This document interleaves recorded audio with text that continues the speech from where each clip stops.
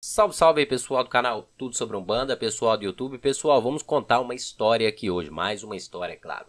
Como muitos me pediram essa história, hoje a gente vem trazer aqui a história de São Cipriano. É isso mesmo, mago, feiticeiro, bruxo São Cipriano, aquele que foi convertido à igreja. É claro, a igreja cristã.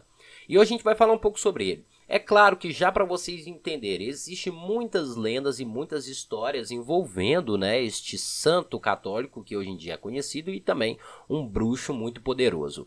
Então, primeiramente a gente vai falar da sua história tradicional, a sua lenda tradicional, aquela lenda, aquela história que você encontra é, na internet. Se você pesquisar aí na internet, você vai encontrar essa história. Então a gente vai falar um pouco sobre esse relato também para vocês entenderem um pouco e depois a gente vai falar um pouquinho da sua verdadeira história, ou seja, da sua história real até a sua morte, tá certo? No caso também, pessoal, né, específico de São Cipriano, a, já a autoria sagrada criou uma confusão dentro desse nome. Por quê? Porque para algumas pessoas existem dois santos com o mesmo nome, né? No caso, São Cipriano de Antioquia e o São Cipriano de Cartago. Né? São Cipriano de Cartago, gente, ele viveu no século II e é considerado um dos doutores da igreja, um grande orador e um dos pais do cristianismo. Já São Cipriano de Antioquia, ele foi martirizado por volta de 300 anos depois de Cristo, né, por ser cristão. No caso, é, São Cipriano de Antioquia é o famoso feiticeiro, o bruxo. No caso, a gente vai falar sobre ele, tá certo? Então, antes da gente começar essa história, antes da gente começar esse vídeo, a gente já pede para vocês se inscreverem no canal, deixar sua curtida, é claro, ajudar a compartilhar também, que é extremamente importante. E é isso aí. Vamos lá para a história.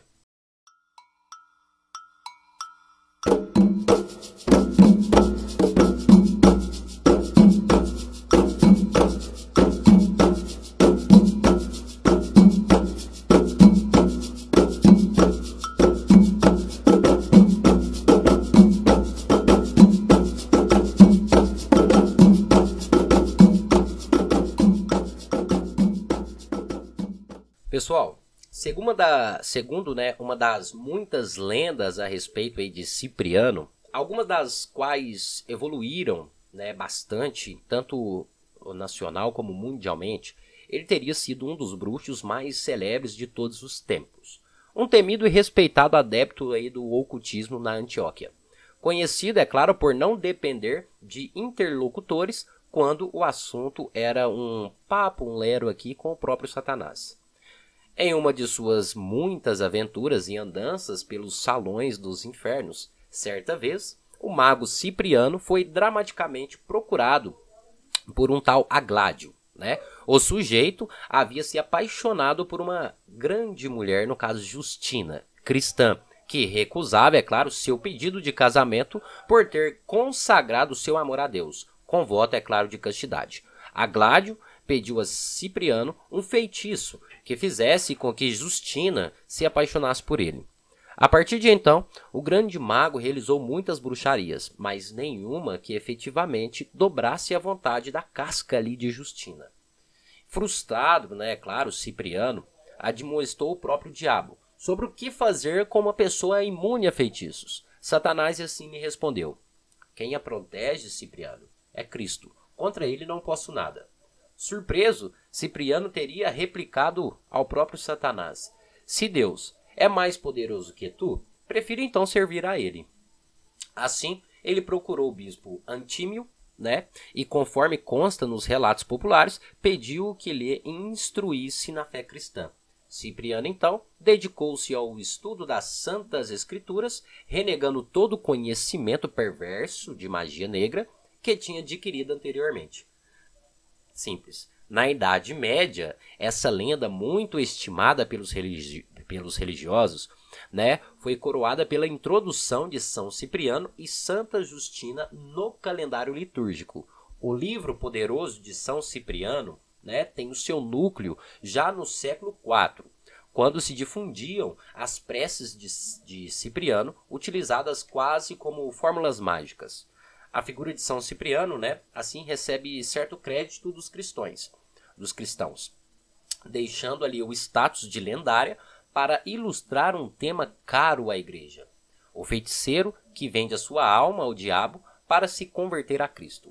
Após sua morte, né, o dito Cipriano gozou de grande fama e estima, pois foi um mártir heróico que marcou pontos para a igreja no seu tempo. A data de 26 de setembro é citada pelos martirológicos romanos, catálogo de martírios da igreja, como a festa dos martírios São Cipriano e Santa Justina, que hoje é conhecida.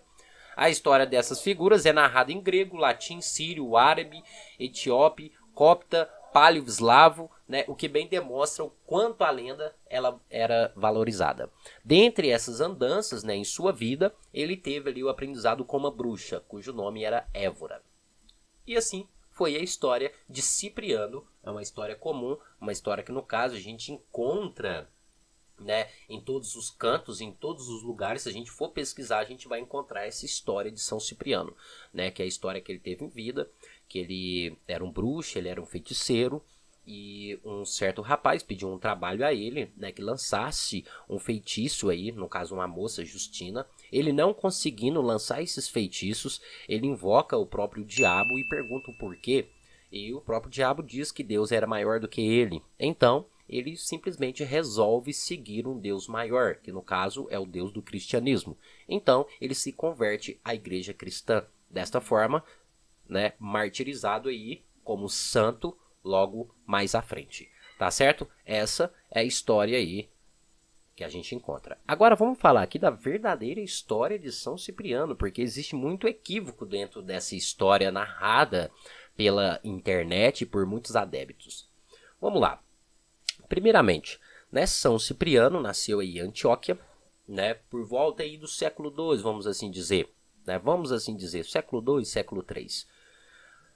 Entre esse, entre esse período, Cipriano nasceu e era de família muito rica, uma família nobre, tinha muita pro, propriedades ali em Antioquia, ou seja, era uma família com muito, muitas condições. Conforme Cipriano cresceu, ele acaba se interessando aí pelo ocultismo, né? Esse, essa questão da alquimia, enfim. Naquele tempo, quem estudava a alquimia era simplesmente barões, pessoas que tinham posses, pessoas que tinham dinheiro que estudavam alquimia. A alquimia antigamente era muito considerada, né, onde mexia com plantas, entre, ou seja, trabalhava muito com misticismo, com o ocultismo. Então o que ocorre? Cipriano ele se interessa, né, por isso, isso já quando ele era um pouco mais jovem, e ele começa a estudar. Já até então, naquela redondeza da Antioquia onde que ele morava, ele acabou é, é claro, né? Ele acabou tendo que partir para outros lugares porque ele achava que naquele canto, naquele lugar, não tinha mais o que ele aprender. Então, em uma dessas andanças, é, em uma dessas suas aventuras, andando, aprendendo um pouco mais sobre o, o mundo oculto, sobre o ocultismo, ele acaba encontrando aí uma moça, que no caso muito conhecida como Bruxa Évora né? No caso era uma feiticeira em si. E então ele acaba criando um vínculo com essa moça, com essa bruxa, a Évora, onde que ele passa a ser o seu pupilo, né? No caso Cipriano passa a ser o pupilo aí da Évora. E com isso ele acaba aprendendo ali muita coisa com essa bruxa, enfim. Ou seja, ele aprende feitiçaria, ocultismo, pactos, coisas de mago, vamos assim dizer. Nessa época, é claro, conforme o tempo passou, Cipriano acaba se tornando um mago, sim, muito respeitado ali em Antioquia e na redondeza, por realizar vários trabalhos utilizando ali o seu conhecimento. Até então, tudo bem. Só que Évora chegou um determinado tempo que já estava um pouco velha e acaba falecendo. Ao falecer, ela confia a Cipriano seus grimórios. Seus grimórios, gente, são escrituras mais voltadas aí ao ocultismo, né? São escrituras sagradas ou escrituras antigas voltadas ao ocultismo. Através desses grimórios, Cipriano também aprende várias coisas. E uma, em umas dessas, uma dessas coisas é a invocação de espíritos, espíritos maléficos. Até então, o próprio diabo, o próprio Satanás. Então, Cipriano começa a realizar seus feitos, ou seja, seus trabalhos né, neste período, e dando riqueza para fazendeiros, ajudando muitas pessoas, enfim. Tudo em troca simplesmente de mostrar que ele era capaz, simplesmente de mostrar que ele era poderoso, que ele podia fazer as coisas. Né? Não era por dinheiro, porque realmente ele já tinha dinheiro. São Cipriano era um homem rico, né, de família rica, de família nobre em Antioquia. Então, o que ele fazia era simplesmente para mostrar para a maioria das pessoas que ele tinha capacidade de fazer aquilo. Então, Cipriano ajudou muitas pessoas, trabalhou para várias pessoas e, um determinado tempo, chega um homem em Cipriano, que no caso é o, o homem da história que a gente estava falando, a Gládio, né? E pede a Cipriano que realizasse um trabalho para ele, que era conquistar Justina, no caso a Gládio, adorava Justina, ele era apaixonado. Então ele pede a Cipriano para que tentasse, ou seja, no, nos ditados de hoje, fazer uma amarração para que Justina viesse a se apaixonar por Agládio. E Cipriano então usa ali os, o seu conhecimento, realiza feitiços, faz muitas coisas, amarrações, enfim, faz várias coisas. Só que, infelizmente, esses feitiços, essas coisas que ele fazia, São Cipriano, infelizmente, não conseguia realizar nada, ou seja, nada pegava em Justina. Então, neste período que Cipriano estava tentando realizar os seus trabalhos para que afetasse Justina, ele acaba se aproximando dela. Nessa aproximação, São Cipriano acaba se apaixonando por Justina. Até então, o outro homem que havia pedido o trabalho já não fazia tanta parte assim da vida mais de Justina, porque ele já havia praticamente quase desistido do, né, do seu querer, ou seja, ele acaba praticamente quase desistindo de Justina. Mas São Cipriano acaba começando a ter um sentimento por ela. Então Cipriano tenta ali, é claro, como eu, como eu digo, ele tenta é convencer ela, ou seja, fazer com que ela se apaixonasse por ele naturalmente. E ela, infelizmente, fala que isso não não seria possível, porque ela havia fazido um voto de castidade, a igreja, enfim, tinha muita devoção a Cristo. Então Cipriano, meio que nervoso com isso, né, meio que indignado com isso, ele acaba usando um dos seus grimórios para chamar o próprio Satanás. Ele acaba fazendo um pacto ali com Satanás. Esse pacto foi de qual forma? Eu quero Justina. Simplesmente foi isso. Eu quero Justina e pronto, né? A minha vida é com ela e eu quero Justina, certo? Até então existe uma outra teoria que até então, existe uma outra teoria que Justina estava à beira da morte e São Cipriano chama o próprio Satanás para realizar um pacto com ele para salvar a vida de Justina. Mas na verdade foi que ele faz um pacto com o próprio Satanás para que Justina viesse a se apaixonar por ele. Até então esse pacto deu muito certo, né? Não é igual a história verdadeira que, quer dizer, igual a história que a gente conhece, que fala que São Cipriano, que o próprio demônio falou que não era possível, não. Ele realiza esse pacto. Então, Cipriano acaba ficando com Justina um determinado tempo, tá ok? Só que o, o que Satanás, o que o diabo falou para Cipriano? Este pacto, ele vai ter uma cobrança. E Cipriano falou, pode cobrar aquilo que você quiser. Só que o diabo virou, vira para ele e diz: Quando chegar o tempo e a hora certa, eu venho buscar aquilo que é meu por direito. Então pronto, assim foi feito. E Cipriano, é claro, começou a realizar ali os seus feitiços, né? Começou, continuou trabalhando com os seus feitiços. Devido ao pedido de Justina, que já é o contrário, devido ao pedido de Justina, né, pediu a Cipriano que parasse com os seus feitiços, para que ele se convertesse à igreja. Como Cipriano amava Justina, adorava de paixão, enfim, era louco por ela, ele acaba assim deixando de praticar ali as suas os seus feitiços, os seus trabalhos, para que ele pudesse seguir a vida tranquila com Justina. Só que os grimórios que ele havia herdado de de Évora, que era a bruxa que, que ensinou a ele, ele havia escondido dentro de casa, ele havia guardado, porque ele tinha medo né, que outras pessoas pudessem usufruir daquilo e usassem de forma incorreta, de forma errada. Então, assim foi feito. Ele acaba se tornando cristão, ele se converteu ao cristianismo e estava tendo uma vida normal com Justina. Até então os dois iam casar na igreja, tudo bem, tudo bonito, ia, iam ter um, um casamento cristão.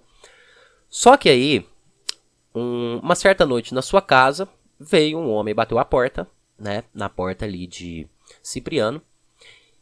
Um homem com semblante um pouco fechado, de pele um pouco meio que parda, fala para São Cipriano desta forma: Eu vim buscar o que é meu por direito. E é claro que este homem era o diabo, aquele que ele havia fazido pacto. Isso depois de muitos anos, é claro.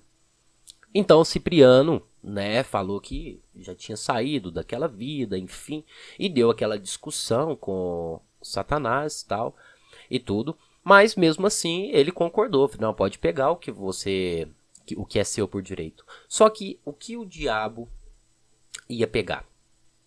Infelizmente, a Justina, sua amada. É claro que essa também é uma história bem conhecida. Cipriano, não se conformando e não aceitando isso, acaba brigando com o próprio Satanás. É isso mesmo. Essa história todo mundo já conhece que Cipriano briga com o próprio Satanás para defender Justina. Só que é claro, infelizmente Cipriano ele não consegue. E Satanás acaba levando Justina, né? Levando aí a sua alma. Então, Cipriano totalmente, como falo, perdido, desorientado, o que iria fazer, enfim, ele clama a Deus, pergunta por que aconteceu isso, enfim, aquela confusão toda.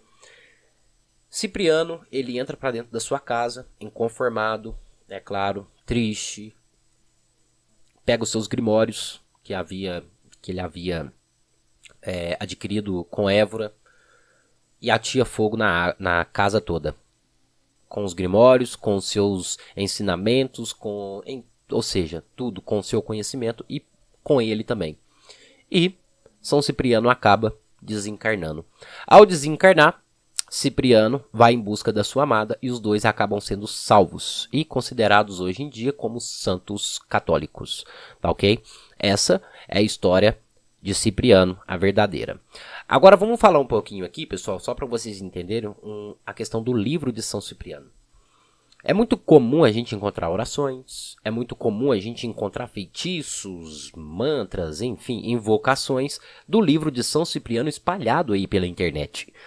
Mas, na verdadeira história, o que ocorreu, Cipriano né, ele atia fogo na água, na, na casa dele, com os grimórios e ele junto. Então é uma coisa meio que equivocada, né, ter esses livros ainda espalhados aí no mundo. Mas o que ocorreu, pessoal? Nem todos os grimórios, né, foram queimados. Alguns foram ainda salvos. É por isso que hoje em dia na, muito, muitas orações, muito, muitas invocações de São Cipriano não são completas, porque foram queimados metades, enfim.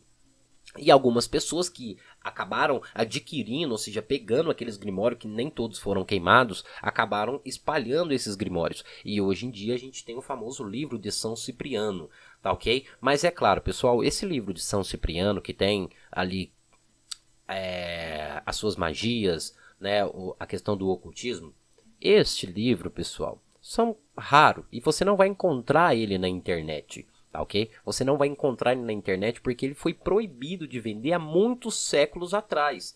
Esse livro ele foi proibido, é, o, vamos dizer assim que o consumo dele, né? Vamos assim dizer, é, a circulação dele foi proibida há séculos atrás. Então esse livro que contém as magias ele foi esquecido, tá ok? Ele foi esquecido. Então são poucas as pessoas que têm este livro e quem tem o livro não fala para ninguém. Agora os livros que você encontra de São Cipriano são algumas orações criadas, né, por São Cipriano até então, quando ele já fazia parte do cristianismo. E muitas das vezes o livro de São Cipriano que a gente encontra na internet tem uma história de vida, não os grimórios que pertenciam a Évora tá certo? Só para vocês entenderem aí um pouco. Mas é isso, pessoal. Espero aí que vocês tenham gostado aí, né, dessa história, né? Que é uma história bem interessante. Espero que vocês tenham gostado e entendido. Mais uma vez eu peço para vocês se inscrevam no canal, é claro, deixa sua curtida. E outra coisa, pessoal, deixa sua sugestão de vídeo também, viu? Porque a sugestão a gente traz aqui, o pessoal deixa sugestão, aquela que é mais citada, aquela sugestão que é mais citada, mais curtida, é o que a gente traz aqui para o canal. Ou seja, quem escolhe a história, quem escolhe os vídeos, são vocês, tá certo? Mas é isso, pessoal. Muito obrigado a todos. Até um próximo vídeo e achei a cada um de vocês.